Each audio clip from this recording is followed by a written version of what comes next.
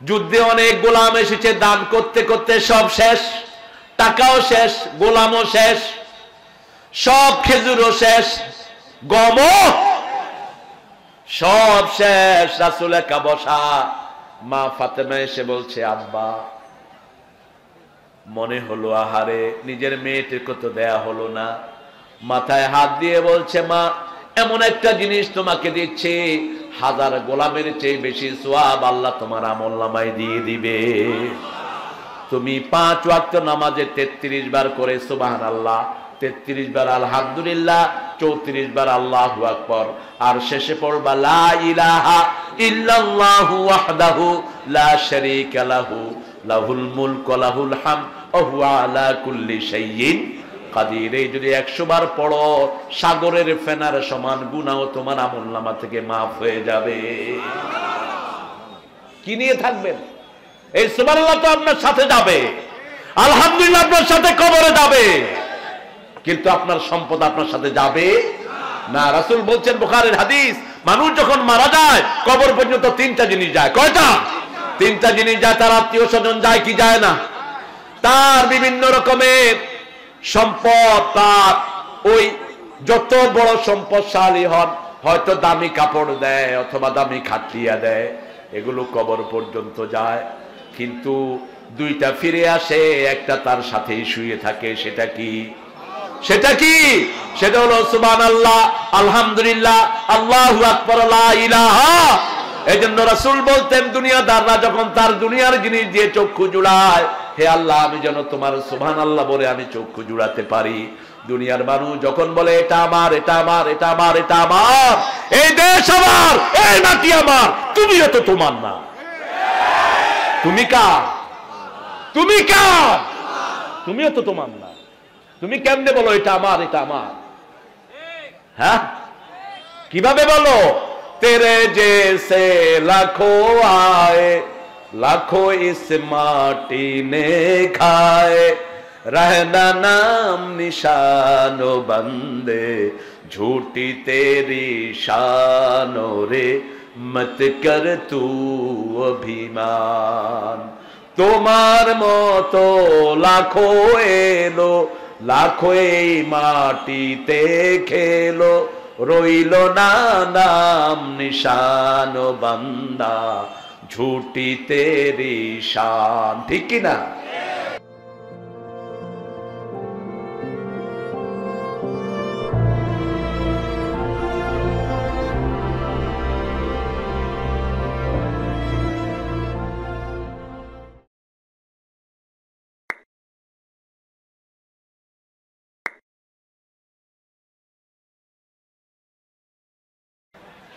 এগুলো সবচেয়ে নিকৃষ্ট।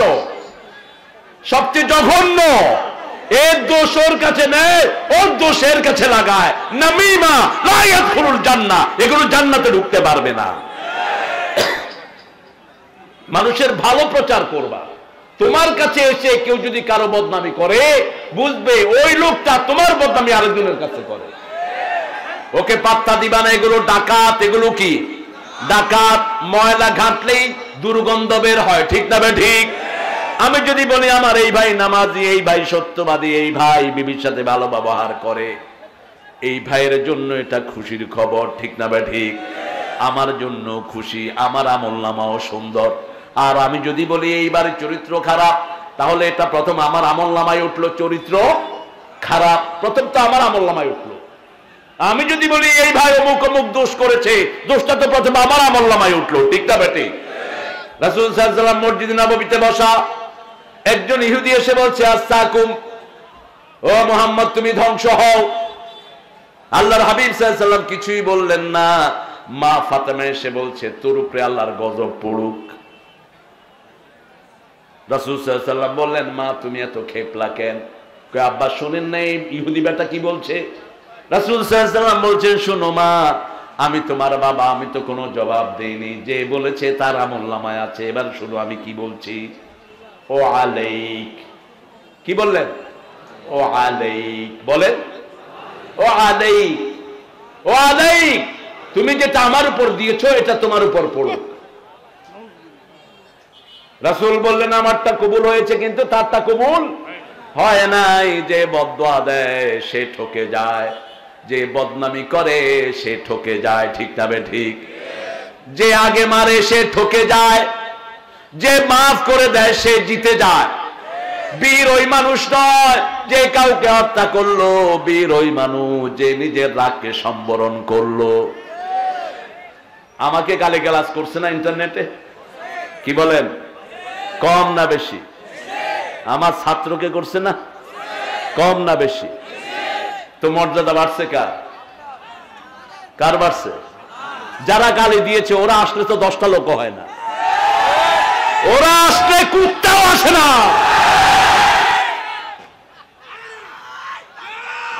আপনি আপনি মনে কষ্ট পান কেন? আমাকে যারা গালি দেয়, আমি তাদেরকে পাইলে মিষ্টি খাওয়াব। কারণ হলো, কেউ যদি আপনাকে গালি দেয়, সে আপনার গুণাগুলো নিয়ে যায়। এখন ইন্টারনেটে যারা এই গালিরে প্রচার করেন, তোমরাও এক একটা হাজার হাজার গুনায় গুনাগার হচ্ছ। যতবার আমার নামে গালি চড়াচ্ছ যেমন এক হুজুর আমার কইছে, আমি কাফের। আমি ওই হুজুরের মসজিদে গিয়ে নামাজে দাঁড়াইলাম। হুজুর আমার দেখা চোখ বড় হয়ে গেছে। কয়, আপনি আমার মসজিদে আসছেন? আমি কইলাম হ আমি কাফের, মসজিদে নামাজ পড়তে আসছি। এখন কইলাম, কি কইবেন? কহুজুর আমারে মাফ করে দেন। আমি কইলাম, এমনি হইব না, মানুষের সামনে মাফ চান। মানুষের সামনে মাপ চাও, তখন ইন্টারনেট আসে নেই। আমার নিয়ে ঝামেলা তো এখন না। আমি এই পর্যন্ত কাউকে একটু ফাঁসেকও বললাম না।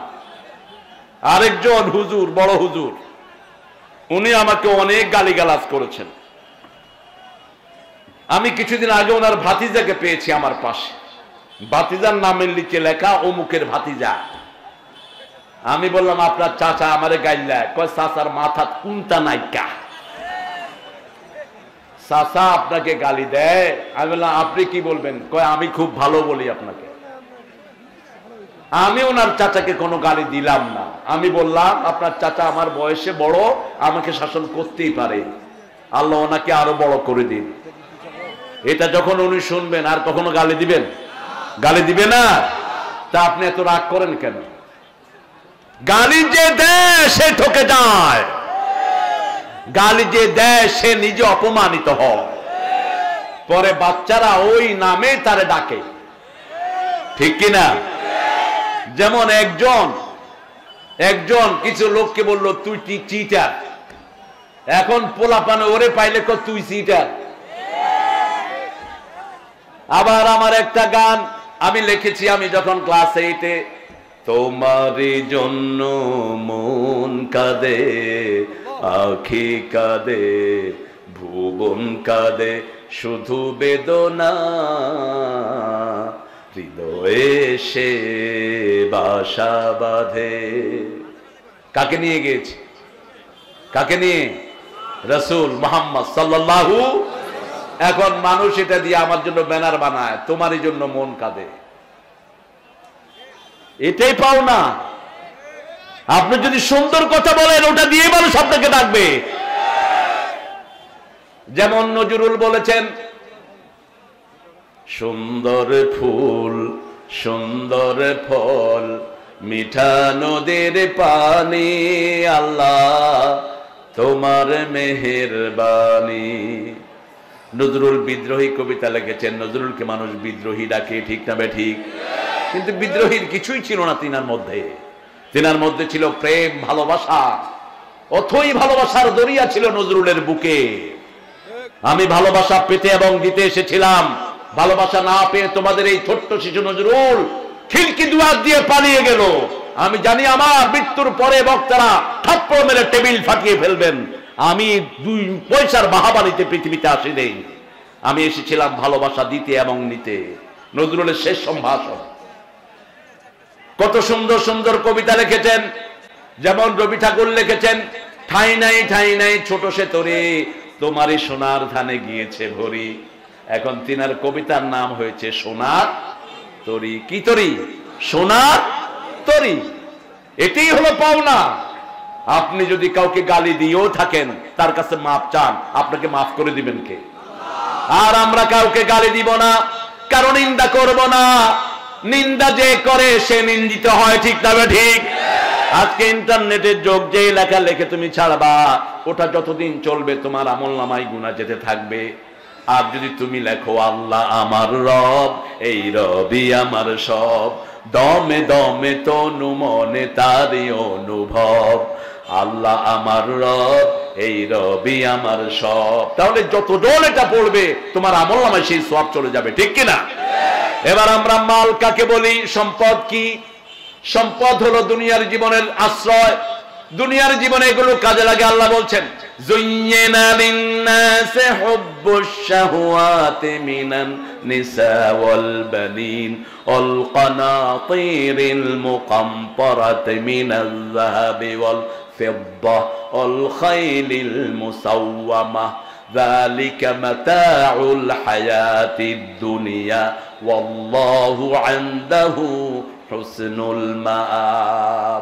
আল্লাহ বলছেন, তোমাদের দুনিয়ার জন্য পাঁচটা জিনিস আমি সৌন্দর্য মণ্ডিত করে দিয়েছি। তোমাদের অন্তরে এই পাঁচটা জিনিসের ভালোবাসা থাকবে। প্রথম ভালোবাসা হলো নারীর ভালোবাসা। কে বলছেন? কে বলছেন?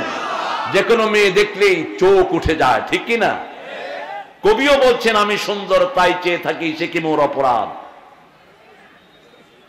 আবার একজন বলছেন ও কেন এত সুন্দরী হলো, দেখো তো আমি মুগ্ধ হবই। আমি তো মানুষ। হ্যাঁ তোমার বউ সুন্দর। বউকে দেখে যদি তুমি মুগ্ধ হও, তোমার গুণা মাফ হয়ে যাবে।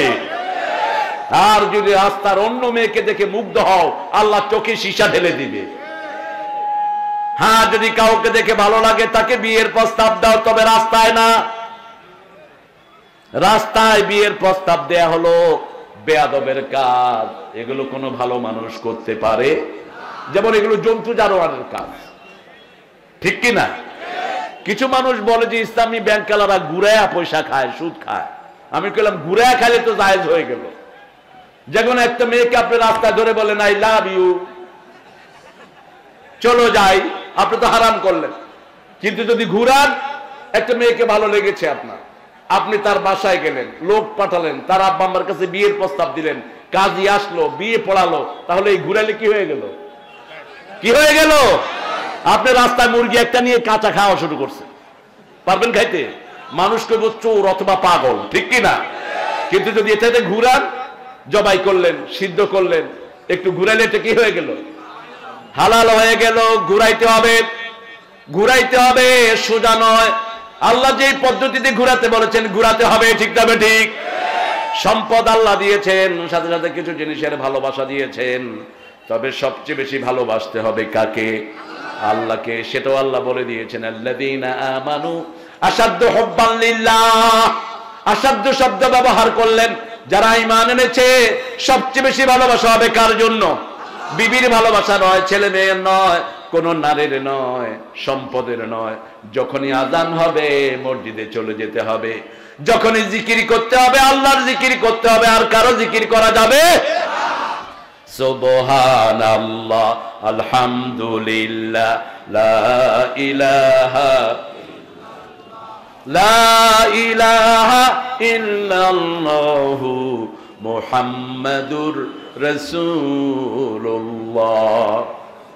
সাল্লাল্লাহু মুসলমানদেরকে সারা দুনিয়া তো ভয় পায় কেন জানেন?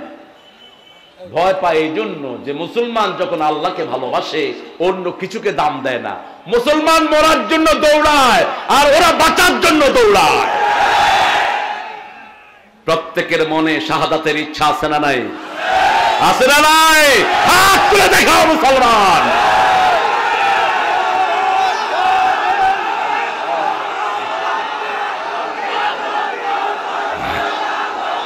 আল্লাহ কবুল করুন। আল্লাহ কবুল করুন। হাতগুলো নামায়। আমাদের ঈদের গজলেও আমরা শাহাদাতের তামান্না পেশ করি। ঈদের গজল নজরুল লিখেছেন। কে লিখেছেন? নজরুল, কারণ তিনি ইসলাম পছন্দ করতেন। না আমি নজরুল ইসলাম। যে ইসলাম পছন্দ করে, আমরা তারে পছন্দ করি। যে আমার নবীকে গালি দেয়, আমরা তার চামড়া তুলে ফেলব। আজকের সরকার প্রধান, তিনি বলেছেন জিরো টলারেন্স জিরো টলারেন্স যারা রাসুলের বিরুদ্ধে কথা বলবে, বাংলাদেশে থাকার কোনো অধিকার নাই। যেখানে আমার দেশের প্রিয় হিন্দু ভাইয়েরাও রাসুলকে ভালোবাসেন, ঠিক কিনা ঢাকা বিশ্ববিদ্যালয়ের একজন টিচার, ইন্দ্রমোহন দাস বংশী আমি তখন শিল্পী। আমি ওখানেও শিল্পী। কারণ শিল্পী তো বুড়া হলে আরও দাম বাড়ে। তা আমাদের একটা নাচের অনুষ্ঠান দৈনিক বাংলার মোড়ে। প্রায় সাত আট লক্ষ লোক সামনে আমরা গজলের অনুষ্ঠান করেছি।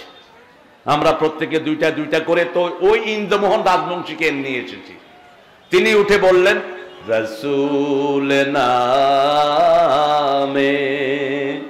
কে এলো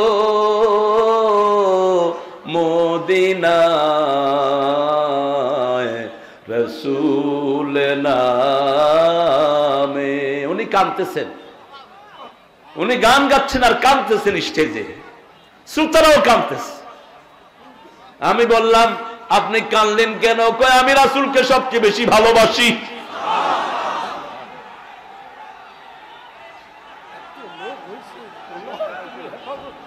কি হয়েছে? এ, বসো। ভাইয়ারা, মধ্যের ভাইয়ারা, বসেন।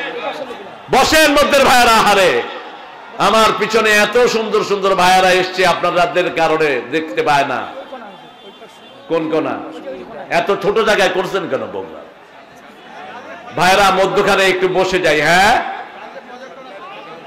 ওই মধ্যখানে তো প্রজেক্টর নাই গার্লসে গার্লসে যেতে পারবে পুরুষেরা ও, কোথায় কোথায় জানি প্রজেক্টর আছে, একটু প্রজেক্টের দিকে কান লাগায় রেখে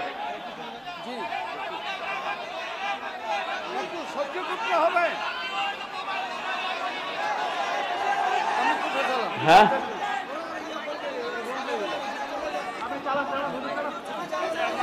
আপনাদের, আপনারা সবাই শুনছেন তো? যারা দেখছেন না, মনে করবেন যে ভিডিও শুনতেছেন। তুই তো হয়ে যায়। আপনি আপনার ভাইকে জায়গা করে দেন, আল্লাহ বেহেস্ট আপনাকে জায়গা করে দিবে। আপনি যদি আপনার ভাইকে আরাম দেন, আপনাকে আরাম দিবেন কে? আপনি আপনার ভাইয়ের দোষ ঢেকে রাখলে আপনার দোষ ঢেকে রাখবেন কে? আরে, আমার নবী সাল্লাম কত মানুষের দোষ ঢেকে রাখতেন। একজন কাফের রাসুলের ঘরে রাসুলকে দেখতে এসছেন, সাতটা ছাগলের দুধ তারে খাওয়াইছে। কয় ছাগল? সাত ছাগলের দুধ খেয়ে কাফের পড়ছে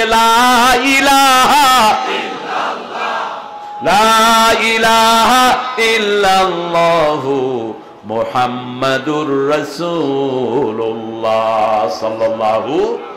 কয়দিন পরে ওই ভাইটি আবার আসলেন, একটা ছাগলের দুধ দিলেন, খেয়ে শেষ করতে পারলেন। রাসুল বললেন, কাফের খায় সাত পেটে, মোমেন খায় এক পেটে, কারণ মমিনের বাকি পেটগুলো রহমত দিয়ে ভরে দিয়েছেন কে? এই কোনায় এখনও দাঁড়ানো। ভাইরা, আপনারা বসেন। বসেন। হ্যাঁ? আগে গেলে তো আমি পিছিয়ে যাব। এই এখন এনারা যদি আগায় আসে, আমি কোন দিকে যাব? আল্লাহ তোমার হেদায়ত করুন হ্যাঁ একটু চেপে চেপে বসেন। যদি জায়গা ছোট, কি করবেন? এইটাই হলো কোরআনের বিজয়। পৃথিবীর কোন মাঠে জায়গা হয় না। কোরআনকে দমানোর চেষ্টা করো না, কোরআন বাড়বেই। কারণ এই বাতি জ্বালিয়েছেন কে? আল্লাহ বলছেন, আমার নূরকে আমি জ্বালাবই, যতই কষ্ট হোক না কেন কাফেরের। পৃথিবীর কোন মাঠে আমাদের জায়গা হয় না। এটা ব্যক্তির বরকত নয়, এটা কোরআনের বরকত। কত মানুষই তো ওয়াজ করে, লোক হয় না, ঠিক কি না? কিন্তু যারা কোরআন দিয়ে কথা বলে, তাদেরকে লোক দিয়ে দেন কে? আল্লাহ দিয়ে দেয়। সারা পৃথিবীতে কোথাও, এটা শুধু এখানে না, নিউ ইয়র্কে গিয়েছি, মসজিদ পুরে, মসজিদের টয়লেটের ভিতরে মানুষ। রাস্তায় পুলিশ বলছে what have you done my dear friend such a big crowd here. You couldn't control the human being. পুলিশের একজন বড় অফিসার আমাকে বলছে, আপনি কি নিয়ে আসছেন? মানুষ এত পাগল কেন? I brought the Quran with me ma'am I have the Quran with me আমার সাথে কোরআন আছে। এটা কার কিতাব? আল্লাহর কিতাব সারাক্ষণ এটার সাথে থাকেন। যখনই রাস্তায় থাকেন, পড়তে থাকেন, যা মুখাস্ত আছে পড়েন। এই কোরআন আপনাকে ছাড়া বেহেসতে যাবে না। সারাদিন এই কোরআন পড়েন। যখনই অবসর থাকেন, কোরআন পড়েন, নামাজে কোরআন পড়েন, শোয়ার সময় কোরআন পড়েন। রাসুল সাল্লাম চব্বিশ ঘন্টায় শুধু কোরআনই পড়তেন। যতক্ষণ জেগে থাকতেন, ততক্ষণ জিকির আসে না নাই?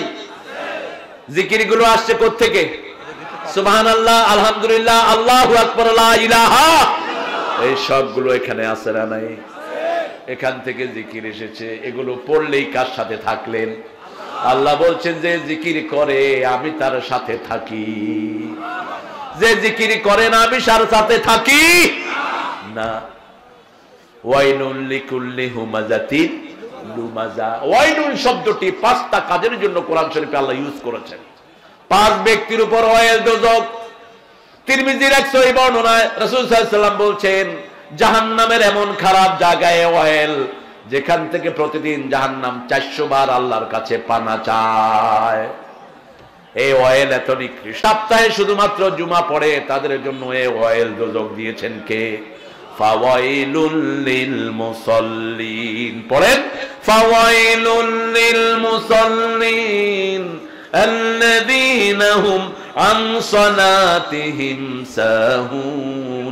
الذين هم عن صلاتهم ساهون الذين هم يراءون ويمنعون الماعون ঘুমাইয়া কাজা করেছ ফজর তখনও জাগুনি যখন জোহর হেলায় খেলায় কেটেছে আসর মাগরিবের ওই শুনিয়া যান এখনো জমাতে হয় ওরে সামিল এখনো এর সাথে আছে স্থান বাজিছে দামামা বাদরে আমামা শির উঁচু করি মুসলমান, দাওয়াত এসেছে নয়া জামানার ভাঙা কেল্লায় উড়ে নিশান। আগামী দিনের পৃথিবী ইসলামের পৃথিবী। আগামী দিনের পৃথিবী ইমাম মেহেদের পৃথিবী। আগামী দিনের পৃথিবী ঈসা আলাইহিস সালামের পৃথিবী। আগামী দিনের পৃথিবী মুসলমানদের রাজত্বের পৃথিবী। যন্ত্রণার দিন শেষ হয়ে আসছে। এখন প্রসব বেদনা চলছে সারা পৃথিবীতে। প্রত্যেকটি নিউজ মিডিয়া বলছে most growing religion in the world ইসলাম ইসলাম এবং ইসলাম পৃথিবীতে সবচেয়ে বেশি সবচেয়ে বেশি যে ধর্ম মানুষ গ্রহণ করছে কোন ধর্ম? এটার চেয়ে সহজ কোন ধর্ম নেই। শুধু বলতে হয় লা ইলাহা মুহাম্মাদুর ব্যাস পাঁচ ওয়াক্ত নামাজ তার সাথে জান্নাতের ডিল করেন কে? নামাজ তাকে জান্নাতের দিকে নিয়ে আসে। রাসূল বলছেন মুসলিম শরীফের বর্ণনা, যখন কেউ উজু করে, হাতের গুনাহ সাথে সাথে ঝরে যায়। যখন মুখ ধোয়, মুখের গুনাহ ঝরে যায়। পা ধোয়, পায়ের গুনাহ ঝরে যায়। যখন মসজিদের দিকে আগায়, প্রথম পদক্ষেপেই জাহান্নাম তার জন্য পিছনে হটে। দ্বিতীয় কদম থেকে জান্নাত তার সামনের দিকে আগায় আসে। এই অবস্থায় যদি সে তওবা করে, চিরস্থায়ী জান্নাত তাকে দান করে দিবেন কে? পাঁচ ওয়াক্ত যারা মসজিদে যায়, আল্লাহ বলছেন, আমি তাদের জন্য জান্নাত সাজায়া দে। কয় ওয়াক্ত? সেই মসজিদে যায় না সবচেয়ে দামি নামাজ। কোন নামাজ সবচেয়ে দামি? কোন নামাজ? একজনে কয় ফজর, আরেকজনে কয় আসর, আরেকজনে কয় জোহর। পাঁচ ওয়াক্তই কর না, একটা তো হইব। মানুষ যে কত চালাক। এক ছেলেকে বানান করছে বিউটিফুল বানান করো। ওই ছেলে এ থেকে জেড পর্যন্ত পড়ে সারারে তালাশ করে নিয়ে নেন। যেটা যেটা আপনার লাগে। যেটা জানবেন বলবেন জানি। বাস, যেটা জানবেন না জানি না, এটাও জ্ঞানের কথা। আমরা সব জানব না, রাসুলও সব জানতেন না। রাসুলকে যখন প্রশ্ন করা হতো তিনি জানলে বলতেন, না জানলে চুপ থাকতেন। যেমন বলা হয়েছে আনিল সম্পর্কে বলেন সাল্লাল্লাহু। তিনি চুপ থাকলেন। আল্লাহ বললেন, হিয়া মাওয়াকিতু এই চাঁদটা হলো একটা ঝুলন্ত ক্যালেন্ডার। চাঁদটা কি? একটা ঝুলন্ত ক্যালেন্ডার। আশ-শামসু ওয়াল কামারু বেহসবান। এই সূর্য এবং চাঁদ দিয়ে আমরা সময়ের হিসাব করি, ঠিক কি না রাসূল সাল্লাল্লাহু আলাইহি ওয়াসাল্লামকে জিজ্ঞেস করা হলো, মায়েদের অসুস্থতা? তিনি চুপ থাকলেন। আল্লাহ বলেন ইয়াসআলুনাকা আনিল মাহিদ। কুল নিসা ফিল এটা একটা অসুস্থতা। কীরকম অসুস্থতা? ইহুদিরা, মেয়েরা যখন অসুস্থ হতো, বাড়ি থেকে আলাদা করে একটা রুমে তাদেরকে আটকিয়ে রাখতো, সাত দিন, দশ দিন। তাদের সাথে খাওয়া, লাওয়া, চলাফেরা উঠা বসা কোনোটাই করতো না। রাসুল বললেন, এটা নয়। আল্লাহর হাবিবে এতে কাজ করছেন মসজিদ নববীতে। মাথা বাড়িয়ে বলছেন আয়সা আমার মাথা মুছে দাও, বোখারের হাদিস। মায়েশা বলছেন, আমি অসুস্থ। আল্লাহর হাবিব বললেন, তোমার শরীর অসুস্থ, কিন্তু তোমার হাত অসুস্থ নয়, আমার মাথা মুছে দাও। তার মানে হলো, এই মেয়েরা আমাদের ঘরেই থাকবে, আমাদের কাছেই থাকবে, কিন্তু পারিবারিক জীবনের সম্পর্ক তাদের সাথে করা যাবে। কত সুন্দর করে রাসুল বুঝিয়ে দিয়েছেন। এভাবে যখনই প্রশ্ন করা হয়, উত্তর দিবেন কোরআন থেকে, কারণ আল্লাহ বলছেন, হাফেজু আলা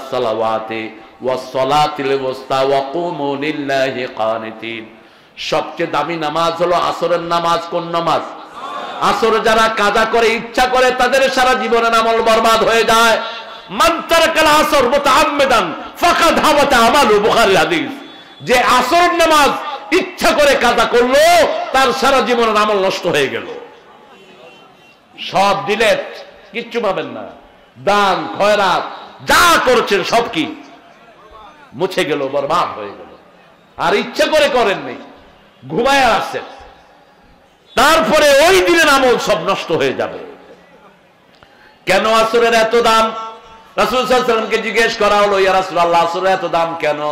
রাসুল বললেন, আসরের সময় ফজরের ফেরেস্তা আল্লাহর কাছে যায়, আর রাতের ফেরেস্তা দুনিয়ায় আসে। ফজরের ফেরেস্তা যখন আল্লাহর কাছে যায়, তখন দেখে লোকটা নামাজে দাঁড়ানো। আবার রাতের ফেরেস্তারা যখন আসে, তখন দেখে রাতে তারা নামাজ দাঁড়ানো। ফেরেস্তারা রিপোর্ট দেয়, চব্বিশ ঘন্টায় আপনার গোলামেরা নামাজে দাঁড়িয়ে থাকে। বসেন, এ মধ্যখানের ভাইয়েরা, বসেন। পিছনের ভাইদের কষ্ট হয়। আমরা আর বেশিক্ষণ থাকতে পারব না। সারা থাকবেন তো? হ্যাঁ। আল্লাহ কবুল করুক। যারা মাল জমা করে রেখেছেন, আজকে গিয়ে দান করেন। পনেরোটা শার্ট আছে, তিনটা রেখে বাকিগুলো দান করে দেন। পনেরোটা প্যান্ট, তিনটা রেখে অথবা চারটা রেখে বাকিগুলো দান করেন। শাড়ি আছে আমার মায়েদের একশোটা, একশো বড়ি সোনা দান করে দেন। মাত্র ছয় বড়ি রাখেন, জাকাত দিতে হবে না। সাড়ে সাত বড়ির নিচে রাখেন, জাকাত দেয়া লাগবে না। জাকাত যেগুলোর দেয়া লাগবে, সেগুলো যদি দুনিয়ায় রেখে চলে যান, রাসুল বলেছেন সুজান আকরা এই জাকাতের টাকাগুলো সাপ হয়ে আপনার গাল কামলাবে আর বলবে না কানজুকা না মালুকা। আমি তোমার সম্পদ, আমি তোমার গচ্ছিত ধন। রাসুল সাল্লাম আসরের নামাজ পড়ছেন। নিজে ইমাম কয়েকজন মুসল্লির ঘাড়ের উপরে দিয়ে তিনি ঘরে চলে গেলেন কেরাম অবাক। আসার পরে জিজ্ঞেস করলেন, ইয়া রাসূলুল্লাহ, প্রতিদিন আসরের পরে দীর্ঘ সময় আপনি তসবি করেন? কারণ আল্লাহ বলছেন আসীলা। সকাল এবং সন্ধ্যায় জিকির করো কার। আজকে এত পেরেশান হয়ে আপনি গেলেন কেন? রাসূল সাল্লাম বলেন, আমি যখন সালাম ফিরাচ্ছি তখন আমার মনে হয়েছে, আমার ঘরে ছোট্ট এক টুকরা সোনা রয়ে গেছে। এই সোনাটা আমার ঘরে থাকবে। এই অবস্থায় যদি আমি চলে যাই, আল্লাহর কাছে আমি কি জবাব দেব? সেজন্য আমি দৌড়িয়ে চলে গেলাম। আয়সাকে গিয়ে বললাম আয়সা তাড়াতাড়ি এই স্বর্ণের টুকরাটা মানুষের মধ্যে বিলি করে দাও। রাসুল যেই দিন দুনিয়া থেকে চলে যায়, সেই দিন চেরা আগে তেলও ছিল না, আলো জ্বালানোর মতো।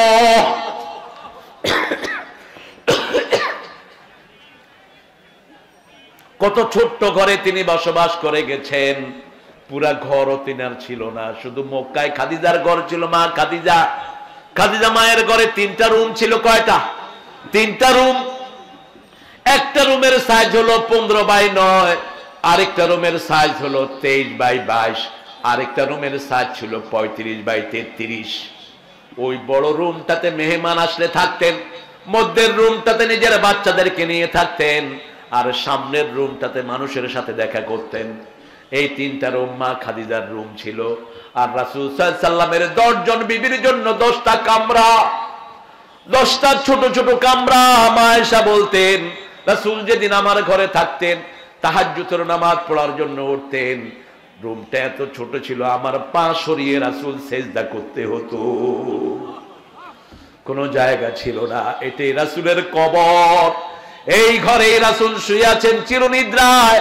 আজকে কত বিরাট বাড়ি, বিশাল বহুল বিলাস বহুল বাড়িতে আমরা থাকি তবু আমাদের জায়গা হয় না। আমার রাসুল সারা জীবন মাটিতে সেজদা করে গেছেন। কিসে? কিসে? মাটিতে বালুর উপর সেজদা করেছেন। বুখারের হাদিস, সল্লু বেনিয়ালিকুম, তোমরা তোমাদের জুতা পায়ে দিয়ে নামাজ পড়ো। ইহুদিরা জুতা খুলে নামাজ পড়ে, তোমরা জুতা পায়ে দিয়ে নামাজ পড়ো। জুতা পায়ে দিয়ে নামাজ পড়ার ভিতরে সোয়াব বেশি। কিন্তু এখন আমাদের তো কোনো মসজিদ বালুর নেই, ঠিক কিনা কথা কন না কেন? এই বালুর মসজিদে বোখারির বর্ণনা, যখন রাসুল দাঁড়াতেন উপরের, সানি ছিল খেজুর পাতা। এই পাশ থেকে ওই পাশে কুত্তা দৌড় দিয়ে চলে যেত। বুঝলেন তো কথা? কি দৌড় দিত? কুত্তা। শুকনা কুকুর যদি কারও গায়ে লাগে, উজু যাবে না। এই হাদিস থেকে। রাসুল সাল্লাম বলেছেন, তোমরা স্যান্ডেল পায়ে দিয়ে নামাজ পড়ো। তিনি স্যান্ডেল পায়ে দিয়ে নামাজ পড়তেন। একদিন স্যান্ডেলের তলায় ময়লা ছিল। জিব্রাইল আমিন এসে বললেন, ইয়া রাসূলুল্লাহ, আপনার স্যান্ডেল খুলে ফেলেন, স্যান্ডেলের নিচে ময়লা। রাসূল খুলে ফেলেছেন, সমস্ত সাহাবীরাও খুলে ফেলেছেন। রাসূল সালাম ফিরে বলেন, তোমরা খুললা কেন? বলছি ইয়া রাসূলুল্লাহ, আপনি কোন কাজ করলে সেই কাজ আমরা না করে থাকতে পারি না। আল্লাহ রাসূল মাল জমান নেই, আপনারা জমাবেন কেন? আল্লাহ রাসূল মাল দান করে দিতেন, আপনারা জমাবেন কেন? নিজের মেয়ে এসে বলছে, আব্বা, আমার হাতে যাতা চাপতে চাপতে কর পড়ে গেছে। কর বুঝেন তো। কি বলেন আপনারা? খাতা খাতা ঘাটা হায় হায়। সাংঘাতিক বাংলা। ঘাটা। ঘাটা পড়ে গেছে। কে বলছেন? মা ফাতেমা, জান্নাতের সব নারীদের সর্দার। কি পরিচয়? রাসুল বলছেন, বসো, মা, বসো। যুদ্ধে অনেক গোলাম এসেছে, দান করতে করতে সব শেষ। টাকাও শেষ, গোলামও শেষ, সব খেজুরও শেষ, গমও সব শেষ। রাসুল একা বসা, মা ফাতেমা এসে বলছে, আব্বা, মনে হলো আহারে, নিজের মেয়েটিকে তো দেয়া হলো না? মাথায় হাত দিয়ে বলছে, মা, এমন একটা জিনিস তোমাকে দিচ্ছে, হাজার গোলামের চেয়ে বেশি সোয়াব আল্লাহ তোমার আমল দিয়ে দিবে। তুমি পাঁচ ওয়াক্ত নামাজে তেত্রিশ বার করে সুবাহান আল্লাহ তেত্রিশ বার আলহামদুলিল্লাহ, চৌত্রিশ বার আল্লাহ আকবর। আর শেষে পড়বা, লা ইলাহা ইল্লাল্লাহু ওয়াহদাহু লা শারীকা লাহু, লাহুল মুলক ওয়া লাহুল হামদ, ওয়া হুয়া আলা কুল্লি শাইইন কাদির। এই যদি একশো বার পড়ো, সাগরের ফেনার সমান গুনাও তোমার আমল নামা থেকে মাফ হয়ে যাবে। কি নিয়ে থাকবেন? এই সুবহানাল্লাহ তো আপনার সাথে যাবে। আলহামদুলিল্লাহ আপনার সাথে কবরে যাবে। কিন্তু আপনার সম্পদ আপনার সাথে যাবে না। রাসুল বলছেন বুখারের হাদিস, মানুষ যখন মারা যায়, কবর পর্যন্ত তিনটা জিনিস যায়। কয়টা? তিনটা জিনিস যায়, তার আত্মীয় স্বজন যায় কি যায় না? তার বিভিন্ন রকমের সম্পদ তার ওই যত বড় সম্পদশালী হন, হয়তো দামি কাপড় দেয় অথবা দামি খাটিয়া দেয়, এগুলো কবর পর্যন্ত যায়। কিন্তু দুইটা ফিরে আসে, একটা তার সাথেই শুয়ে থাকে, সেটা কি? সেটা কি? সেটা হলো সুবান আল্লাহ আলহামদুলিল্লাহ আল্লাহ ইলাহা এই জন্য রাসুল বলতেন, দুনিয়াদাররা যখন তার দুনিয়ার জিনিস দিয়ে চক্ষু জুড়ায়, হে আল্লাহ, আমি যেন তোমার সুবহান আল্লাহ বলে আমি চক্ষু জুড়াতে পারি। দুনিয়ার মানুষ যখন বলে, এটা আমার এটা আমার এটা আমার এটা আমার, এই দেশ আমার, এই মাটি আমার, তুমিও তো তোমার না। তুমি কার তুমি কার তুমিও তো তোমার না তুমি কেমনে বলো এটা আমার এটা আমার হ্যাঁ কিভাবে বলো তেরে যে সে লাখো আয়ে लाखों इस माटी ने खाए रहना नाम निशानो बंदे झूठी तेरी शानो रे মত কর তু অভিমান তোমার মতো লাখো এলো লাখো এই মাটিতে খেলো রইল না নাম নিশান বান্দা ঝুটিতে রিশান ঠিক কিনা আমি গত দুই মাস আগে খুব সম্ভব। নোয়াখালীর সোনাইমুড়িতে একটা মাহফিল করি। আপনাদের মতো এই জায়গাটা এরকম কনজাস্টেড ছিল, মানুষ খুব বেশি। তো রাস্তার পাশেই একটা মসজিদ। রাস্তা বড় হচ্ছে, মসজিদটার পাশে একটা কবর, ওই কবরটা ভাঙতে হবে। তো যিনি মাহফিল দিলেন, মেম্বার, তিনার বাপের ওটা কবর। এখন চিন্তা করলেন, এতদিনে তো একুশ বছর আগে তিনি মারা গেছেন, শুধু হাত ছাড়া আর কিছুই নাই। কিন্তু কবর খুলে দেখে ওনার জানাজার কাফনটাও পুরান হয়নি। মনে হয় তিনি ঘুমানো। আশেপাশের সমস্ত বড় বড় আলেমরা হাজির। ছেলেকে জিজ্ঞেস করেছে, আপনার আব্বা কি করতেন? ছেলে বলছে, সারাদিন এই মসজিদে বসে থাকতো।